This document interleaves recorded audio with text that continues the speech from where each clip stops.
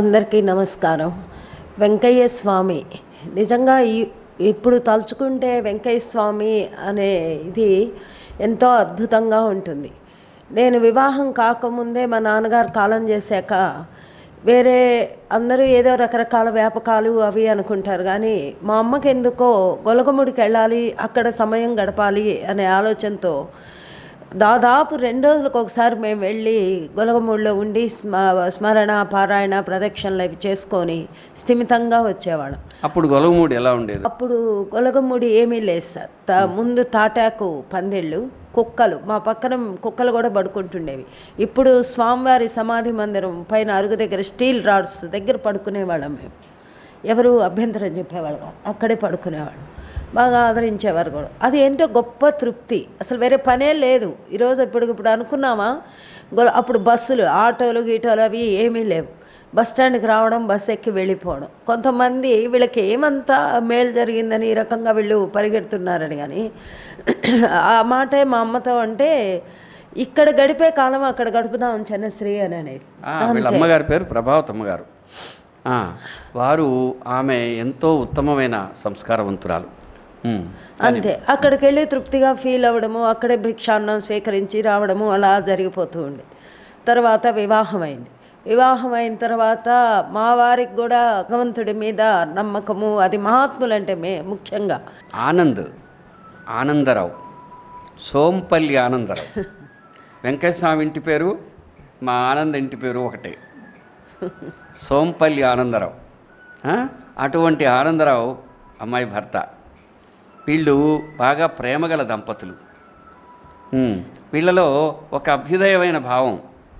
నాకు అర్థమైంది ఏంటంటే వీళ్ళు బతకాలి మనతో పాటు ఇంకా నలుగురు బతకాలనే ఆలోచన వీళ్ళ లోపల ఎక్కడో ఉంది. అందువల్ల వీళ్ళు ఉద్యోగాల కంటే స్కూల్ పెట్టడం మేలని ఒక స్కూల్ పెట్టారు. ఆ స్కూల్ ద్వారా ఎంతోమందికి విద్యా ప్రదాతలు కాగలిగారు. అందుకని అక్కడ ఆ- విధంగా వివాహం అయిన దగ్గర నుంచి తను మళ్ళీ కొనసాగించి చెప్తుంది. అట్లా పిల్లలకు ఏదైనా ఒక మంచిది అన్న ప్రాసన అటువంటివి ఏదైనా పుట్టినరోజులు ఏదైనా చేయాలన్నా వెంకయ్య స్వామి దగ్గర మొదటి ప్రసాదం వాళ్ళకి తినిపించి వాళ్ళకి చేసి చేయటం అనేది ఒక అలవాటైంది. ఆ బిడ్డలను కూడా ఎక్కువగా స్వామి దగ్గరికి తీసుకెళ్ళి నిద్ర చేయడం అంటూ చేయకపోయినా అక్కడికి ఒక మహాత్ముల అండతో వీళ్ళని పెంచాలి అనే ఒక భావం అంటూ ఏర్పడింది. ఆ తర్వాత సార్ గారు చెప్పినట్లు స్కూల్ పెట్టాము. స్కూల్ పెట్టిన తర్వాత ఇక్కడ భగవంతుడు ఎంతగా మా పట్ల కృప చూపించాడంటే ఆ వెంకయ్య స్వామి వాళ్ళు. మేమేదో పిల్లలకు సహాయం చేసి ఉచితంగా విద్యను అందించామనే భ్రమ అయితే నాకు ఎప్పుడూ లేదు. ధర్మం చేయాలన్నా ఆ అవకాశం దొరకడం చాలా అదృష్టమని నా భావం.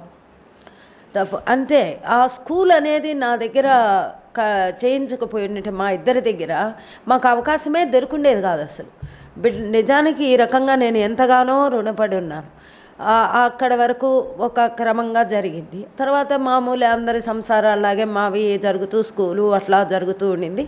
పిల్లలు పెరిగి పెద్దవాళ్ళు అయ్యారు తర్వాత కొద్ది కాలానికి భాస్కర్ రెడ్డి సారు దగ్గరికి నేను వెళ్ళటము ఆ తండ్రి దయతో ఒక అవగాహన వచ్చింది. మహాత్ములు అంటే అంతవరకు ఏదో పారాయణ వాళ్ళ లీలలు అది ఇది అని అనుకుంటున్న దాన్ని లేదు లేదు.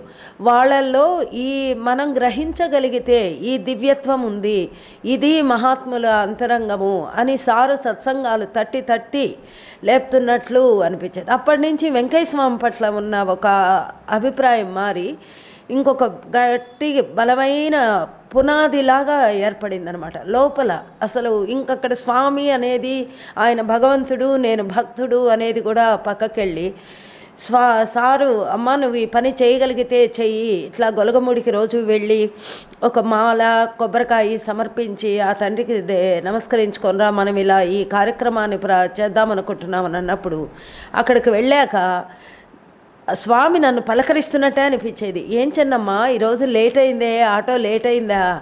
ఇబ్బంది పడ్డావా? అట్లా ఆయన నన్ను చూడగానే ఏదో ఒక పెద్ద ఆయన నన్ను ప్రేమగా పలకరించినట్టుగా అట్లా అనిపించేదే కానీ నేనేదో స్వామి దగ్గరికి ఒక భక్తురాలుగా పోతున్నాను అట్లా అనేదే లేదు. ఆ తర్వాత తర్వాత నా జీవితంలో ఎన్నో పరిణామాలు జరిగి ఎన్నెన్నో మార్పులు చేర్పులు జరిగి ఎంతెంతో మంది ఏమి పొందుతోంది వెంకయ్య స్వామి దగ్గరికి ఇంత ఇన్ని సంవత్సరాలుగా వెళుతున్నాను అనిపించిన లోపల నేను ఏం పొందుతున్నానో నాకు తెలుసు భగవంతుడికి మాత్రమే తెలుసు. అట్లాగే ఒక విపరీతమైన పరిస్థితుల వల్ల ఒక పెద్ద కష్టం వచ్చింది. కష్టం వచ్చినప్పుడు అందరూ అది కూడా మళ్ళీ అక్కడ అదే క్వశ్చన్ నువ్వు ఇంతగా నమ్ముతున్నావు కదా నీకేంది ఇది? ఈ బాధ ఏంది? ఈ నలకట ఏంది అని. కానీ మా మా వారు అంత ఆయనే కష్ట పరిస్థితిలో ఉన్నప్పుడు పదే పదే ఒక మాట చెప్పారు. చన్నశ్రీ నువ్వు వెళుతూ ఉంటే గొలగముడికి రెగ్యులర్గా నేను కూడా నిన్ను అరిచాను. స్కూలుని వదిలిపెట్టి వెళ్తున్నావేనండి కానీ నువ్వు ఆ సేవ చేయటం వల్ల మాత్రమే నేను ఈరోజు ఇంత ప్రశాంతంగా ఉన్నాను.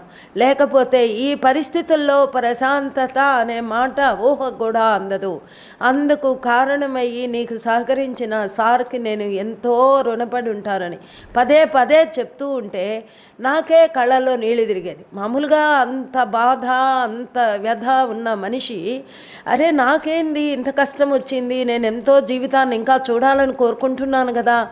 కానీ నాకు ఈ సమస్య వచ్చింది ఏంటి తండ్రి అని అనుకోకుండా నువ్వు వెళ్ళడం వల్ల నేను ప్రశాంతంగా ఉన్నాను అని చెప్పడం అనేది ఇంకా అంతకంటే వెంకటేశ్వరం కరుణకి ఉదాహరణగా నేనేం చెప్పగలను. నేనేం చెప్పలేను కూడా. కోరికలు లీలలు లే ఆ కష్టం కూడా నాకు ఒక ధర్మంలో భాగంగా వచ్చింది అనిపించిందే కానీ అరే వాళ్ళకి అట్లా లీలలు జరిగాయి అట్లా జరిగింది కాబట్టి నేను కూడా ఇందులో నుంచి బయటపడతాను అనేది రాలేదు. ఆయనకే తెలుసు. ఇది ఎందుకు వస్తోందో అనేది తెలుసు. ప్రస్తుతం నాకైతే తెలియకపోవచ్చు. కానీ ఆయనకి తెలుసు. ఇది ఒక ధర్మంలో నుంచి వచ్చింది కష్టము. ఒక ధర్మంలోని నా సోదరి సమానరాలైన ఒక అమ్మాయి నేను మొదట్లో బాగా బాధపడుతుంటే ఓదార్చారు కూడా. చన్నశ్రీ ఎంతో మందికి ఎన్నో జరిగాయి. నువ్వు కూడా ఇందులో నుంచి దాటుతావంటే లేదు లేదు. నేను అలా కోరుకోవటం లేదు. ఇది ఒక ధర్మంలో నుంచి వచ్చిన కష్టం అని అర్థమవుతోంది. కాబట్టి దీన్ని ఆయన కరుణతోనే దాటుతాను నేను అని అనుకున్నానే కానీ వేరేగా అనిపించలేదు. లీలలు అవన్నీ జరుగుతాయి మన కోరికలు అవి జరుగుతాయి కానీ ఆయన కరుణ ఏ రకంగా అనేది మాటల్లో వర్ణించలేము లోపల ఆ స్థిరత్వము ఆ కమిట్మెంటు పదాలు ఎన్నైనా కావచ్చు భావం మాత్రం ఒక్కటే. అది ఇచ్చారంటే అది కేవలం వెంకయ్య స్వామి వల్ల మాత్రమే జరిగిందని నేను మనసారా నమ్ముతున్నాను. తమాషా ఏంటంటే ఇక్కడ ఒక తమాషా ఉంది.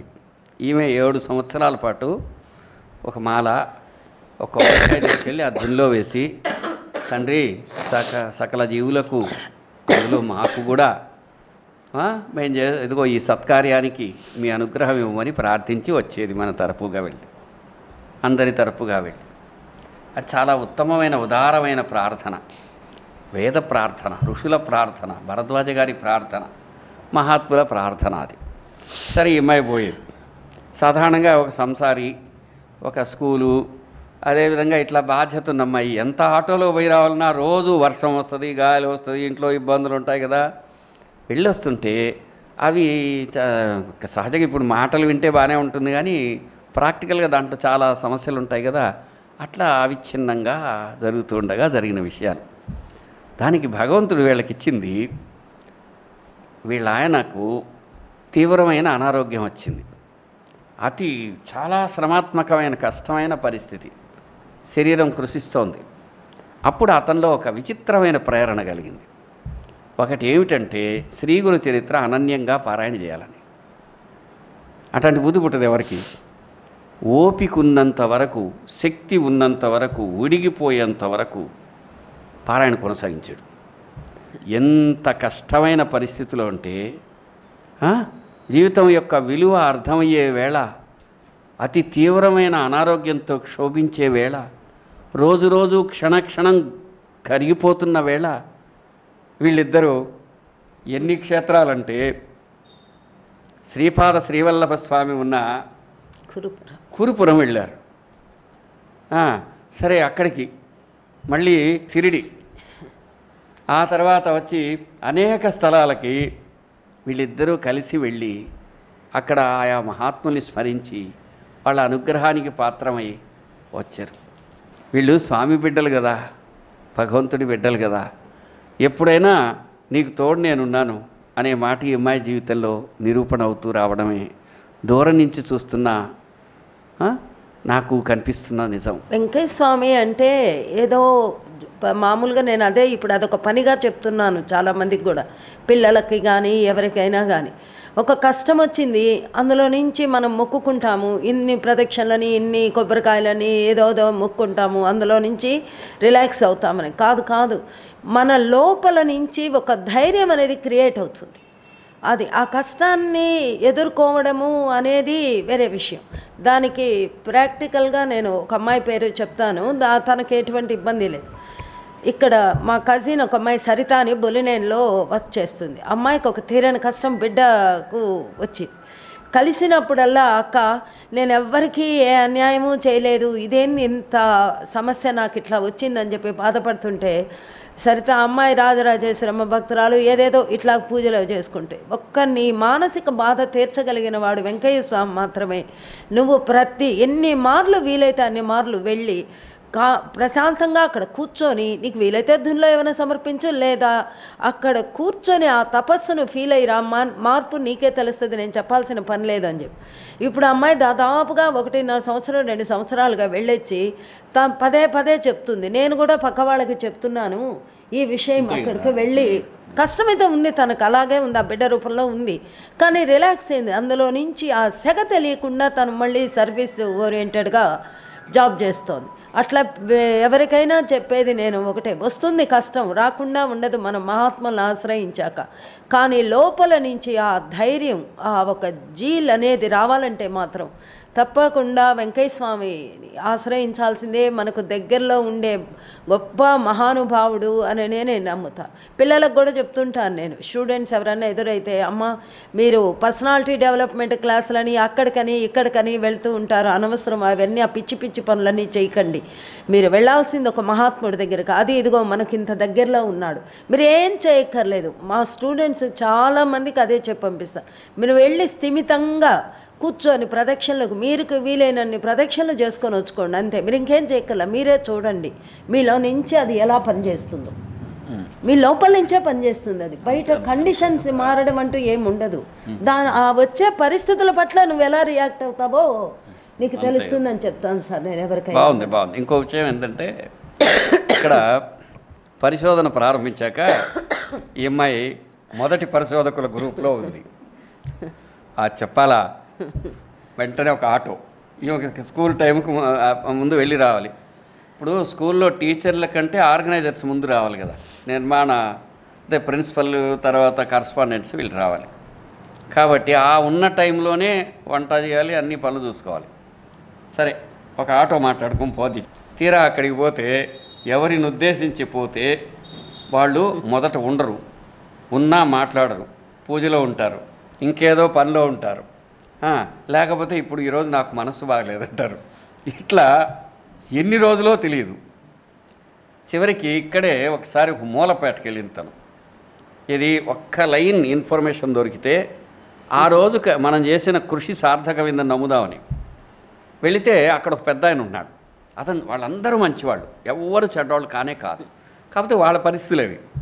అవతలు ఏం చేశారంటే తీరా అక్కడికి పోతే ఆ ఇంట్లోకి పోవటానికి లే. ఎందు వాళ్ళు ఏదో పూజలోనో పునస్కారాల్లోనో పనిలోనో ఉన్నారు తలుపేస్తున్నారు ఏం చేయాలి? బయట ఇసుక దోలుంది ఆ ఇసుక మీద కూర్చొని వాళ్ళు తలుపు తీసిన దాకా ఉండి పెద్దగా ఏడ్చాను సార్ ఆ రోజు. తైస కుక్క మీద కూర్చొని. ఆ, ఒక్క ఇన్ఫర్మేషన్ కూడా రాలేదే. ఇదేంది తండ్రి ఇలా అని. ఆ ఇసుక కుప్పలో మీద కూర్చొని పెద్దగా ఏడ్చి ఎందుకంటే అతను అట్ట ఇదిలిచి పంపించాడు. దానికంటే కూడా ఎదిరిస్తే ఇదిలిచ్చాడు ఒక్క ముక్కన్నా చెప్పలేదు. ఏం పని బట్ట లేకుండా ఏమి లేకుండా వస్తుంటాను. పో నేను గోవుని పూజించుకుంటున్నాను నేను చెప్పి తలుపేసుకునేశాడు అట్లా ఉంటుంది. ఆ- ఆ తర్వాత మళ్ళీ వాళ్ళే చెప్పారు అది వేరే విషయం. అది కాదు విషయం ఏంటంటే ఆ ఎవరైతే అంత ఈసడించారో వాళ్ళే సన్మానించారు అవతల. అది వేరే విషయం.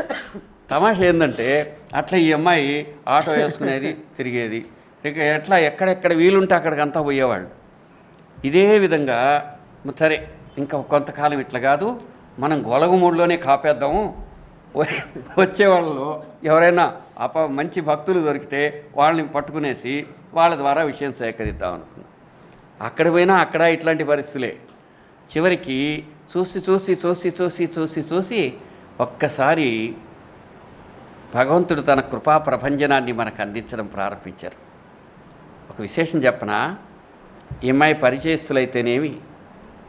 ఇట్లా మన వాళ్ళు చేసిన కృషి ఫలం అయితేనేమి ఈరోజు ఎనభై మూడు పుస్తకాలు రాయడానికి కావాల్సిన ఇన్ఫర్మేషన్.